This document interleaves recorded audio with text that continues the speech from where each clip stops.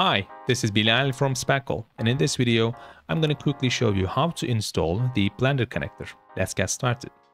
Like most of our connectors, Blender connector is also installed via the manager. So if you don't have manager installed, there will be a pop-up in the top right corner of this video. Go there, download the manager, install it and come back. So once you have manager installed and open, installing Blender connector is actually pretty simple. Simply find it from the list of available connectors.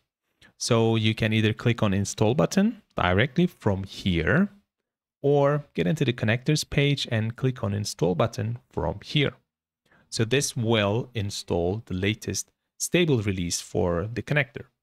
In, at the time of this recording, it was 2.15. If you're watching this in the future, it'll probably be different.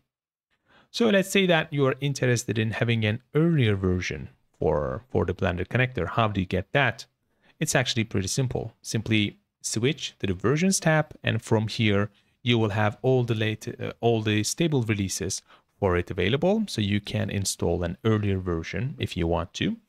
If you want to stay on the cutting edge for the Blender, then you need to turn on this show pre-releases option. And now you will have all the alpha releases, beta releases, release candidates, everything we release available right here. So you can install them from here. All right, so now let's open Blender and activate our connector. So here we are in Blender and just like any other Blender plugin, uh, we need to go to the edit preferences and from here go to add-ons and simply search for speckle and simply check this option. Now you will have the Blender connector installed and available inside Blender.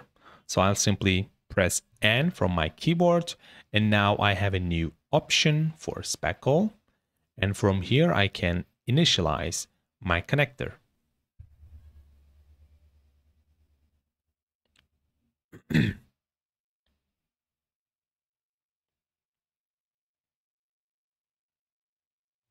And here are all the streams, projects, and models I have. So I can send and receive from different applications like Revit, Rhino, AutoCAD, etc. Or send my Blender models to the Speckle and receive that model in other applications. So that was it. If you faced any issues, let us know at speckle.community.